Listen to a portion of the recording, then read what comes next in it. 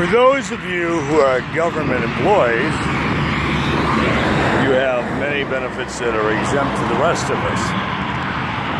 For those of you who are civilians, you have many benefits that are exempt to me. For those of us who are government contractors, welcome to no man's land. You don't get the benefits of a federal employee, and you don't get the benefits of a civilian. And there are no benefits for contractors that I have been able to find thus yet.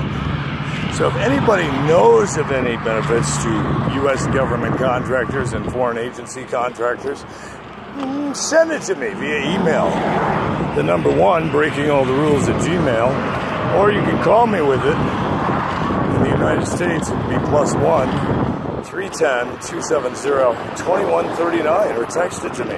I'd love to know what benefits are available for those of us who consult government around the planet but don't have the benefits of government employees or civilians.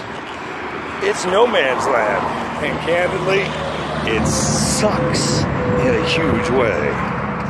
And they don't tell you that when you start government contracting.